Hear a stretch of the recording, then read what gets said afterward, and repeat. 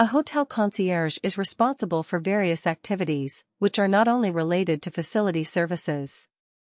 In short, we can best describe the work of a hotel concierge as providing services to hotel guests. Hotel guests within a hotel can generally contact the concierge with all kinds of questions, which have to do with the services of the hotel. Think, for example, of arranging a rental car, of arranging a taxi, or of guests who may have complaints. A hotel concierge is therefore a versatile employee who actually solves all common problems for the hotel guests. A hotel concierge is generally also charged with supervising the hotel and its immediate surroundings. Because there are different types of hotels, the activities of a hotel concierge can differ per hotel. In all cases, the work of a hotel concierge does have to do with service and services. A caretaker is traditionally officially a supervisor of buildings, but modern concierges are responsible for more work.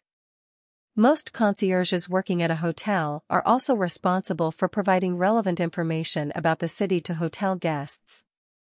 In that respect, a concierge can also be seen as a kind of guide. The substantive activities of a hotel concierge should also be seen as fairly general, because not all hotels have several hotel employees. In other words, a hotel concierge can also be responsible for other work that is not directly related to concierge work. In most cases, a hotel concierge will have to be seen as an all-round hotel employee, but this can differ per hotel. It is conceivable that a hotel concierge can also be seen as a night porter.